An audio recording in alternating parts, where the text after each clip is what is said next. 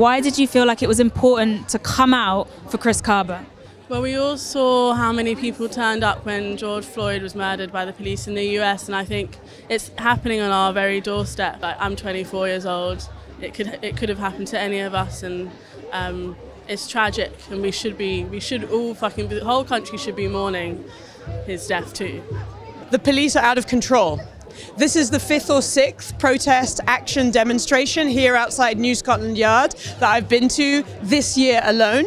There are so many reasons why it's 100% clear that racism, misogyny, misconduct is rife. The institution is rotten. The leadership have done next to nothing about it. They try and brush it under the carpet. So I knew I had to be here because if we don't raise our voice on this issue, we're not going to see the change that we need. This institution is responsible since 1990 for the deaths of one 1,800 individuals. So history has shown us that it takes organization. It's going to take a coordinated response. It's going to take the people that are fighting misogyny and racism to come together to say enough is enough because this institution has shown how stubborn it is, how intractable it is. So this matters, but uh, I want to see this be the beginning of something, not the end of something. He deserved the right to go through due process and for you to prove him to be guilty or not guilty in a court of law. No officer shouldn't feel comfortable in murdering a young, um, innocent youth, because he's innocent until proven guilty, and then feel like after that he can get away with it.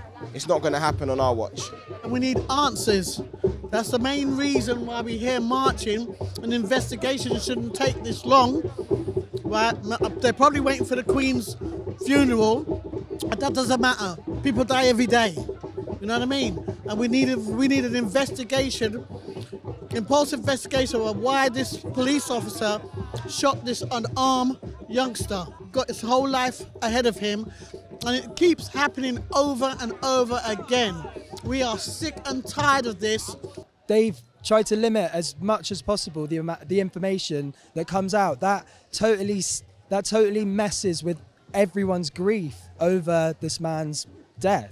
Um, by taking away the facts, by taking away the possibility to know what's happened, how can the family properly mourn?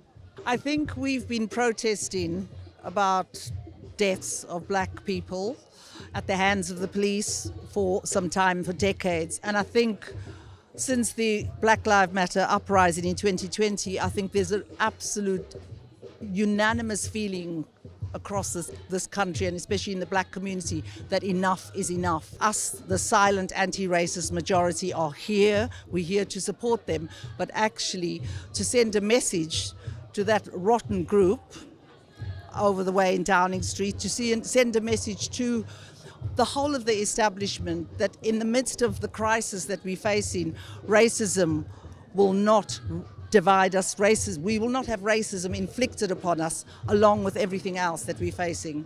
Uh, my friend Roger Sylvester um, died in very close proximity to the police, I think I have to say, legally in 1999.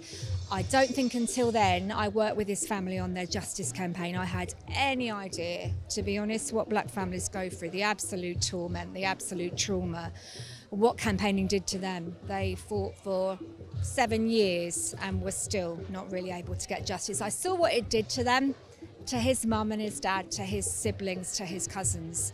You know, it's agonising. And we were told lessons were learned. Here we are again. Here we are again. And I will be here every time because we have to be. We have to be.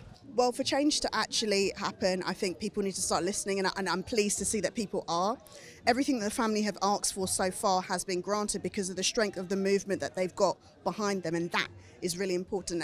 And then back in my place of work in the House of Commons, people need to change things, change that bureaucracy that stops families from receiving justice sooner. So one key example, apparently there's a, a, a fact in law which makes it so that once a police officer does this, they're not automatically suspended. That law has to be changed. There is no other profession that I can think of where something you do leads to somebody's death and you stay in your post. It has to be automatic suspension. People have to be held accountable.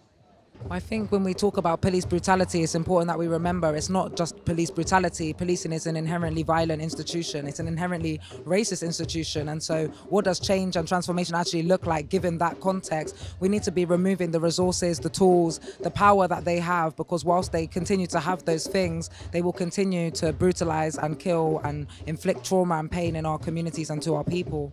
So, the wider demands have to focus on that system, and they can be relevant to this case. I mean, we need to talk about lifting the anonymity. We need to talk about immediate suspensions without pay of police involved in police violence, including police killings.